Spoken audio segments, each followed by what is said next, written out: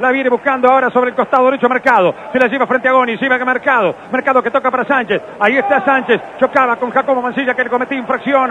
Tiro libre que favorece a River. Dice el árbitro. Ya se está levantando Carlos Sánchez. Ya se viene el tiro libre millonario. Ocho minutos y medio de la etapa final de este partido. Manuel Lanzini lanzará justamente ese remate para Botinelli, para Balanta, para González Pires, que está metiéndose en este momento en el área.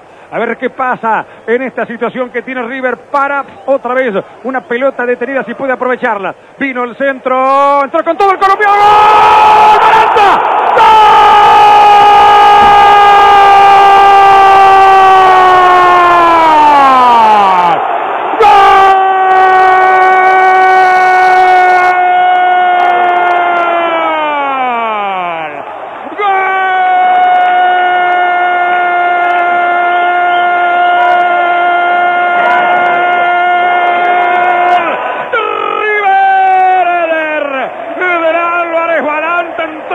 Todo, desde atrás, a toda velocidad, metió un cabezazo formidable, picó la pelota y se le coló sobre el palo derecho a Trípodi, se conmueve el estadio monumental, golazo de cabeza de Balanta a los nueve, River comienza a ganarle partido a Quilmes, porque aprovechó uno de los tantos centros que tiró sobre el área cervecera, Álvarez Balanta con sus goles, River se pone a dos puntos de Newell's Old de Rosario.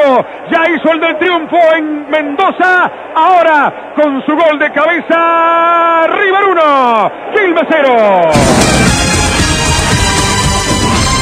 La viene buscando Elizari. Se fue Elizari. Toca hacia el medio. Ahí está. Carrasco devolviendo. Va para Cobo. Habilita muy bien Elizari. Elizari que mete el centro atrás. Remate. ¡Gol! ¡Cauterucho! ¡Gol!